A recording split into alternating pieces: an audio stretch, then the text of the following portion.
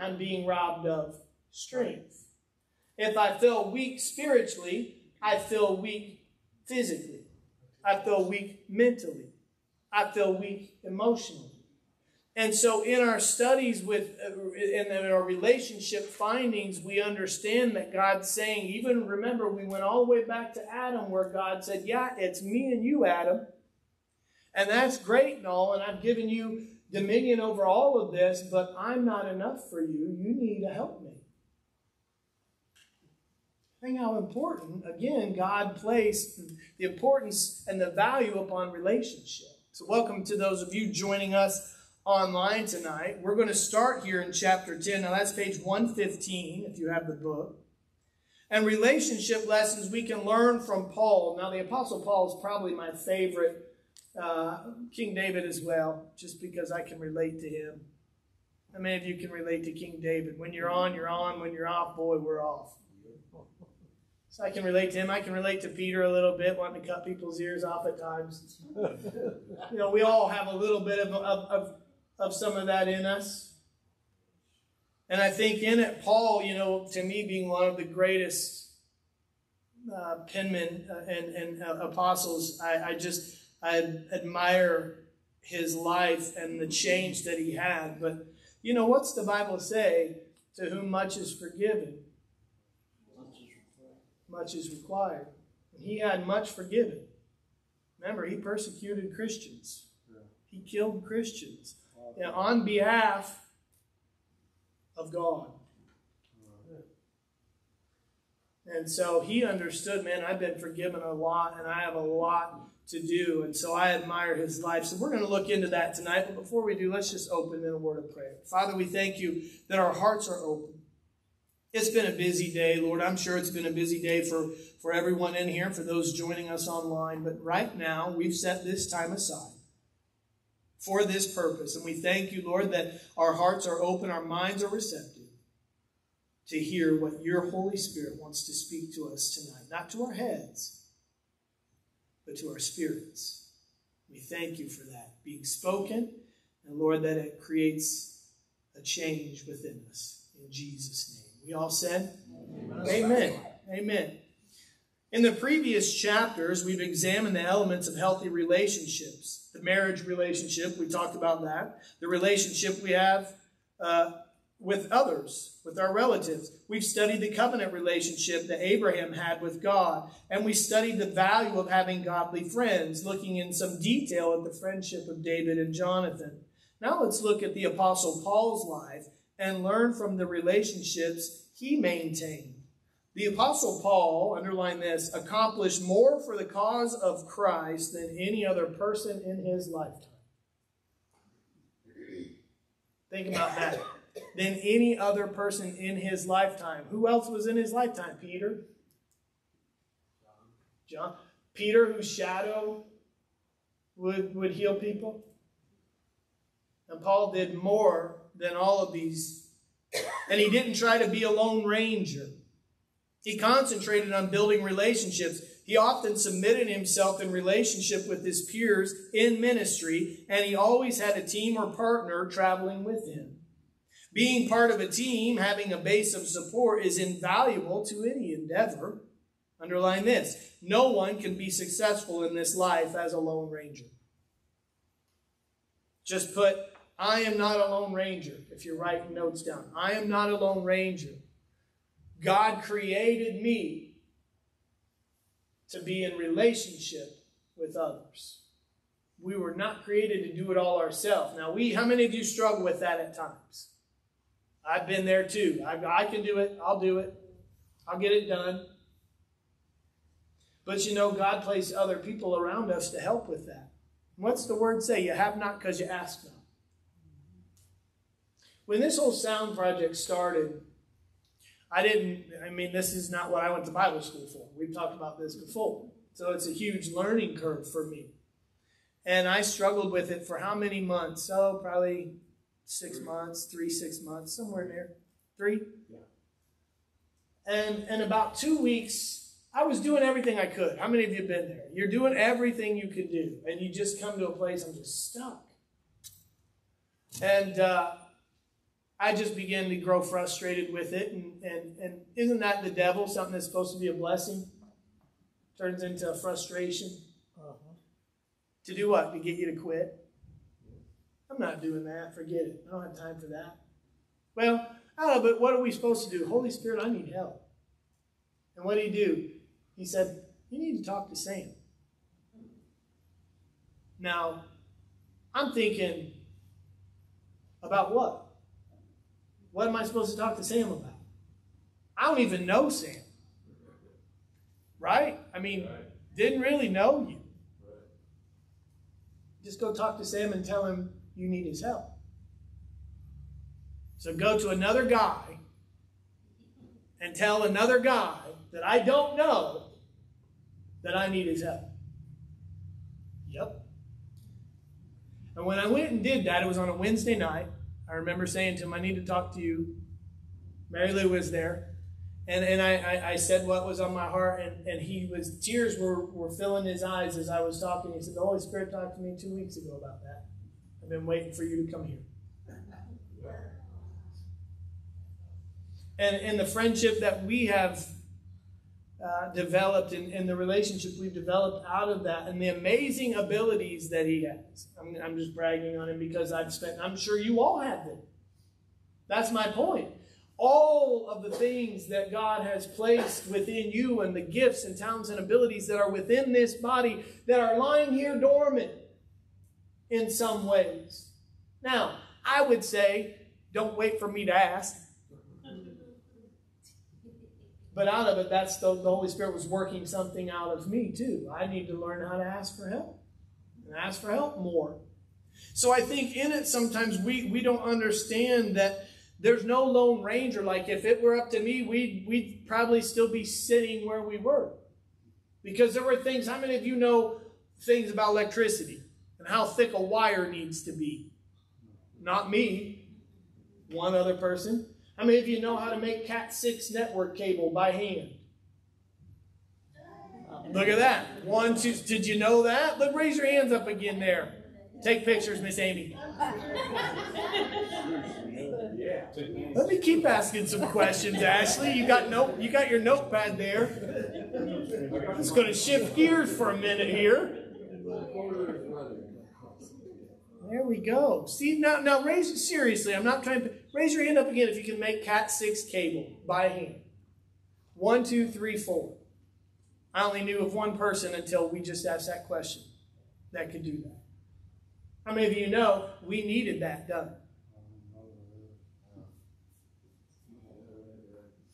Now, what I'm saying by that is not your fault that you didn't help. I'm not saying that. I'm saying without us knowing, Here's the need. Now, did I say, hey, we need Cat 6 cables made? No, because Sam was making it. But if I knew there were four other people, three other people in here, I could say, hey, Sam, you go work on this stuff that only you can do. And then those who can make these cables, then, well, then they can do that. See, that's all of us joining together and those yeah. relationships being developed. And out of it, what happens? You start talking about life. Yeah. You start talking about God. You start talking about your kids. They've given me some great advice on my own kids.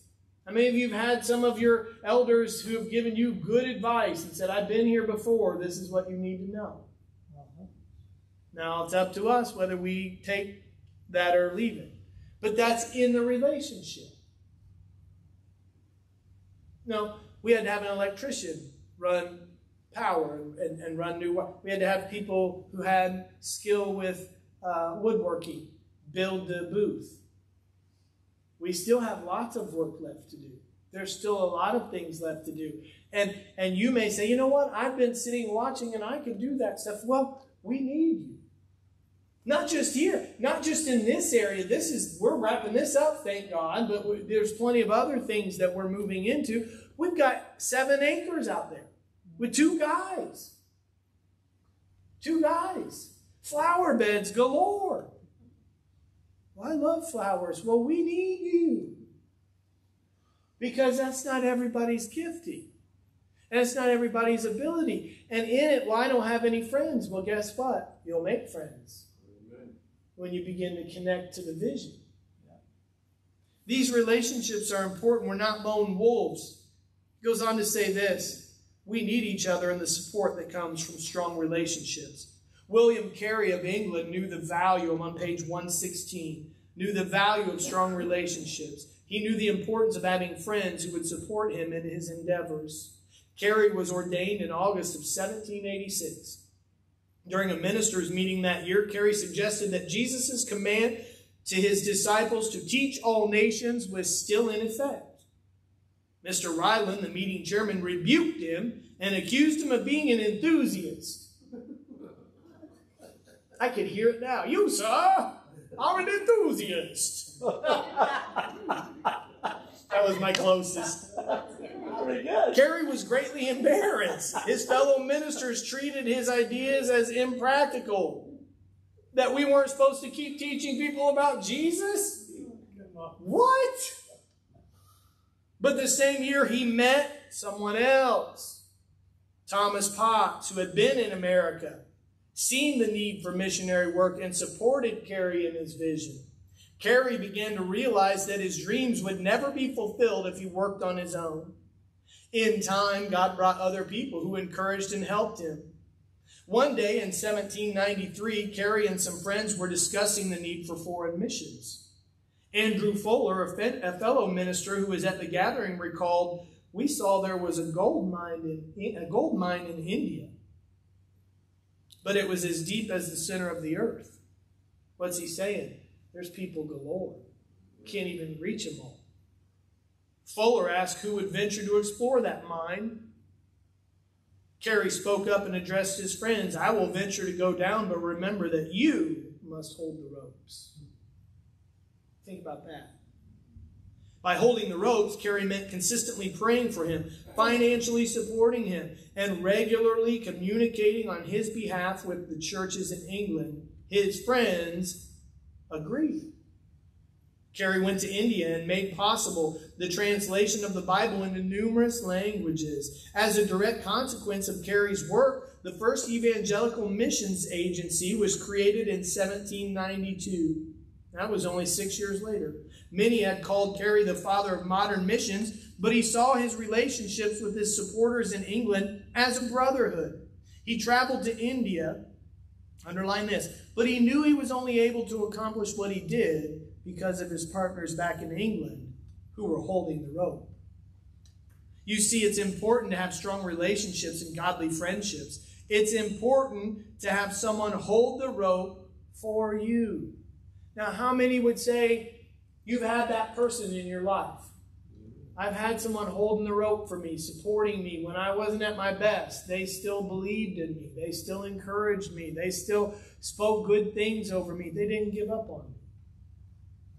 That's holding the rope.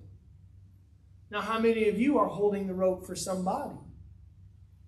Maybe there's someone in your life that you're holding and supporting and praying over and speaking things over it. Maybe you're not seeing a result. Maybe they're not producing anything. But what is our job? To continue praying and speaking and believing. Why? Because that's what faith is. It's speaking what we don't have, but what we're believing God for. Hallelujah. That's important for us as believers to continue to speak faith out of our mouth. He goes on to say this Others held the rope for Paul. This account reminds me of the time the Apostle Paul was let down over the city walls in a basket by believers who he had a relationship with. Paul had friends who helped him in ministry on several occasions. On one such occasion, his friends actually saved his life by holding a literal rope. Let's take a look, take a look at Acts 9 22 tonight. Yet Saul grew more and more powerful and baffled the Jews living in Damascus by proving that Jesus is the Messiah. 23. After many days had gone by, there were, there were a conspiracy among the Jews to do what? Kill him. How the turntables have turned. Paul, who was persecuting, right? Now he's being threatened with his life. Goes on to say this in 24. But Saul learned of their plan. Day and night they kept close watch on the city gates in order to kill him. But his followers took him by night and lowered him in a basket through an opening in the wall. What if they weren't there? What if you weren't here? Well, it doesn't matter if I'm here or not. It absolutely matters if you're here or not. Did you know that we're supposed to bring the supply that we have with us into this storehouse? Mm-hmm. Not just our finances, I'm talking about our spiritual supply joy, peace, patience, kindness, goodness, gentleness, self control. We're supposed to bring that supply everywhere we go and be full and ready to share it. But sometimes we, we may struggle in that. If it hadn't been for Paul's friends holding the rope, he wouldn't have lived to accomplish all that he did for God. Relationships are important. It's tough to go through something by yourself. But when you know someone's holding the rope for you and supporting you, the tough times are a little easier to handle. Underline this it's easier to tackle a problem when you know you're not alone. Now, I put a scripture reference in Ecclesiastes 4.12. I think I did. Maybe I just notated it. If I didn't, can we look that up? It may take him a second. Ecclesiastes 4.12. Yeah, that's great. I think we ended on it last week. We talked about it right before we left. 412, yeah. Ecclesiastes 412. I'm preparing as he's getting that ready. My daughter's getting married in June. Doesn't seem possible. And uh, this is one of the scripture references that I put in her wedding. And in it, it, it gives us a good picture of the strength of not just one person, but three people. A person standing alone can be attacked and defeated, but two can stand back to back and conquer. Three are even better, for a triple braided cord is not easily broken. Who's that third person? Yeah, God, Jesus, the Holy Spirit, all of them involved in our life that we're, we're a triple braided cord, not easily broken. And that's what comes when we have friendships with one another. It's easy to be discouraged and, and, and just give up when it's just you. Have you ever been in a place like that, a season that you may have been in in your life where there wasn't anyone but you?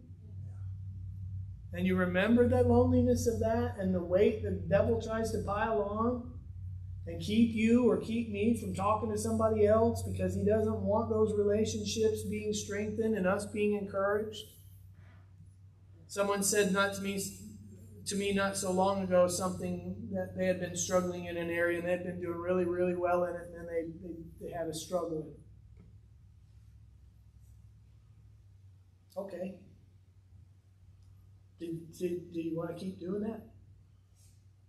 Mm-mm. Did you enjoy it? Mm-mm.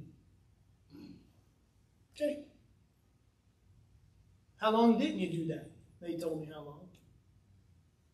All right, well, in comparison, that's pretty good. Considering this amount of time went by, long period, long, long period, thousand, thousand, thousand plus days. So what's one? But what's the devil? You're over. That's it. That's over. You messed up. And without a friend there to encourage you and remind you and say, well, it's all right. Did you did you, did you repent? Yeah. You, you're going to keep, no, I'm not, no. It just proved all the more. Okay, good. Then onward and upward. How many of you would appreciate that comment if that were you? But see, what if nobody's there to tell us that? Then the devil just beating us down, making us feel about this big. And, and before we know it, we are completely isolated and alone, which is exactly what he wants us to be, where he can flood our minds with anxiety and fear and overwhelm us with all the what ifs and could be's and maybe so's. But the Word of God says what? That we're to think on things that are pure and lovely and good. And when those things come, if we can't get there on our own, hey, I need some help. I need you to pray with me. I'm struggling. We don't have to give all the details, and if it's a good friend, they won't even ask. You got it. Whatever you need, I'm praying right now in the Spirit because that's the perfect prayer for you anyway. So we can't go wrong in that. But what's the devil? No, shh, don't tell anybody that because they're going to think less of you. Then they won't want to be in relationship with you anymore because you have failed them. I mean, look. The Apostle Paul said, Follow me as I follow Christ. But if he wasn't following Christ, would he encourage you to follow him? So it's the same thing. Sometimes in our relationship with one another, well, I'm following them because they're following Jesus. But boy, when they miss it, I'm done. They're done. I'm done with them. Done with Jesus. They just proved this stuff. Well, who are we serving? We're not serving each other in that way, in the sense that we're trying to please each other with our good deeds, and we're, we're serving the Lord. We're not each other's judge. I bet you we all missed it today, somehow, someway. Every one of us. And guess who put the degrees on it? Now, the Bible does list sins that will send us to hell. Okay? But if, if we're missing it, we're missing it. But if we're swinging for it, guess what? There's going to be times we miss it. Do you ever see anybody bat perfect, a perfect season, home run every time they get up to bat? Boom, home run. Year after year after home run, home run, home run. Home. No, because they're human. They can be the best hit. Injury, I'm out for a season. Stats go down. Fan base goes down. See, again, we can't be fans of our friends. We have to be friends to our friends. Fans are around till it's not working out so much. Man, this game, this is a blowout. I'm out of here. It's only the third quarter. I'm still out of here. I mean, it's it's done. This game's over. But a, a true follower will be in that seat. You can do it. You can do it. Even when you maybe not doing it. I think in it, I, that encouragement to me has got me through a lot. I don't know about you, but there, there are those times where somebody has said one sentence to me that has, has helped me tremendously. And I had someone tell me not too long ago, you know, that person may need some some some uh, some input, but I don't think you're going to be able to be the person to, to help them see that. We're in a relationship, right? I should be able to say, well, maybe you know, depends sometimes on the day.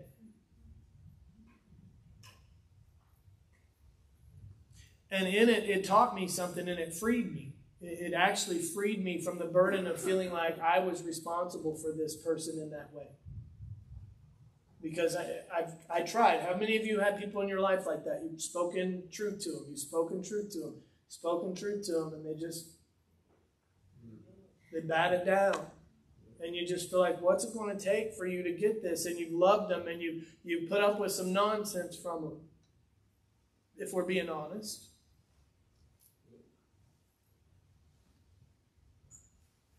Yeah. Well, then, bless God. Done with you.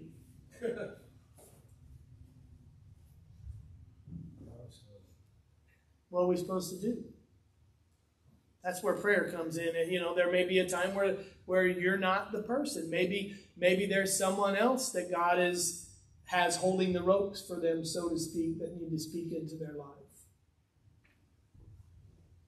And so, as we study this out, it's important to understand these friendships that we have. Sometimes I think we, we may be so settled into the friend group we already have, we're not looking for new ones.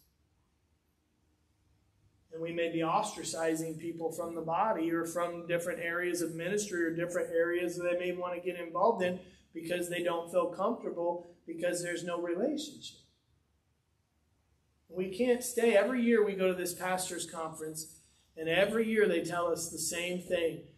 You can sit with the people you're sitting with right now, but that's the last time you sit with them this whole conference. You should be sitting with someone different every service. And most people don't care for that. Just because you're your peer groups. But you know what? We met some great people this year. We've been for years and years and that we had never met before. And so in it, Who knows what that will turn into? Who knows what that friendship could develop into? But I know this that it wasn't by accident. But eh, are we looking for new friends? Or I'm good, the ones I got are enough.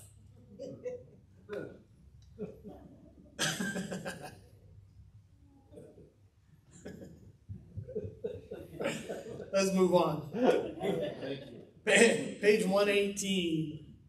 Paul and Barnabas. Paul's life gives us insight in the importance of relationships. Did we already start there? Okay.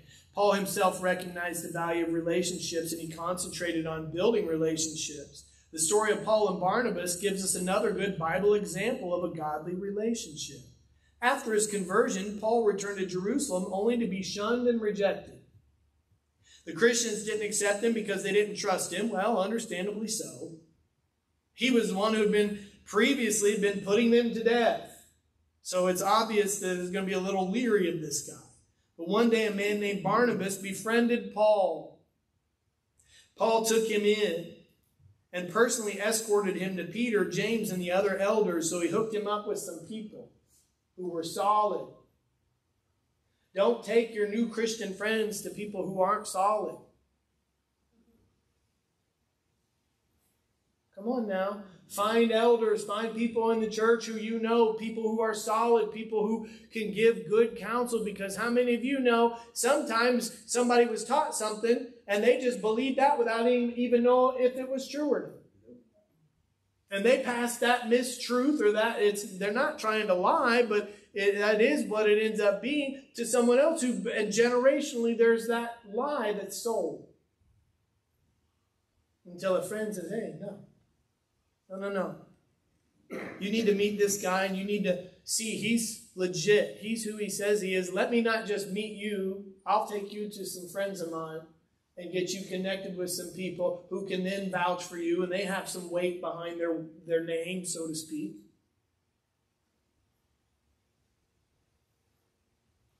Barnabas had a knack for seeing both the need and the potential of the people he met. He saw Paul's potential, not his past. That's important. Paul was grateful to him for that. In time, Paul chose Barnabas to become his close friend and also his ministry partner. Together, they traveled far and wide preaching the gospel.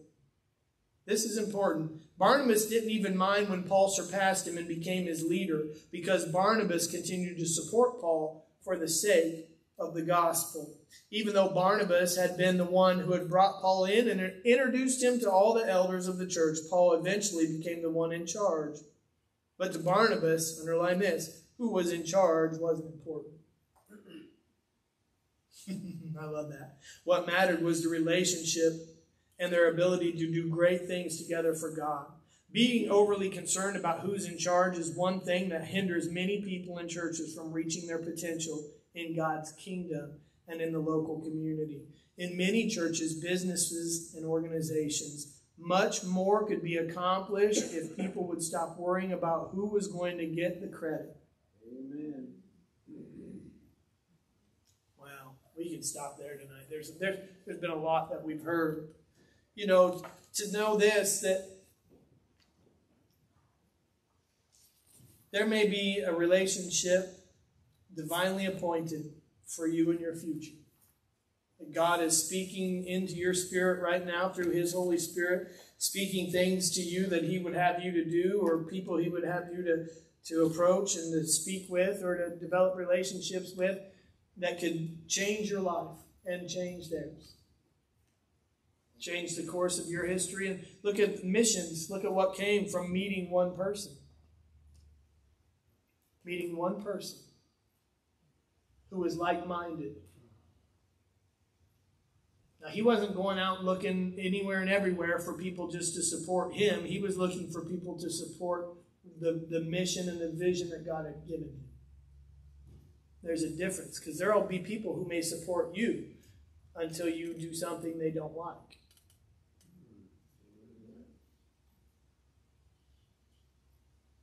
You know, they'll support you until they feel as if you made a poor decision. And the truth is, ultimately, who do we have to answer to for all of our decisions? God. First and foremost. But sometimes we spend so much time in our relationship analyzing everyone else and their problems that we've forgotten how to be a friend. Being a friend isn't about telling the other person all the things that they need to change and fix. I think sometimes as believers we've we've taken hold of that and ran with it a little far. Because if it's not Holy Spirit led, it's not effective anyway. We have to be very careful how we approach people. If we're approaching people out of a, a, a motive of love and wanting to build them up and encourage them, we can never do the wrong thing in that. But if we're trying to offer them counsel because we see they're struggling in areas when we got a plank in our own eye, you know, I've said it before, there's enough in my backyard, so to speak, to keep me busy till Jesus comes. With me. I don't need to be in your backyard, too. And so, out of it, sometimes that will ostracize us from people. You know, if you want a friend, you have to be a friend. Bless God and have them come talk to me if they want to be my friend. well, you're going to sit there a while maybe a long while. So tonight, as we study that out, I just encourage you to finish the chapter. You know, we were, we're a few pages shy of it, but finish the chapter, and, and we'll close in prayer here and then have a few moments. But I think it's important as we're looking at our relationships right now. This just translates to our spouse. I think we it starts there. You know, obviously after our, our relationship with God, but we need to our earthly relationships, our spouse, our children mm-hmm. our families? How are we interacting with them? Because if we're not doing it well there, we can't do it well outside of the house.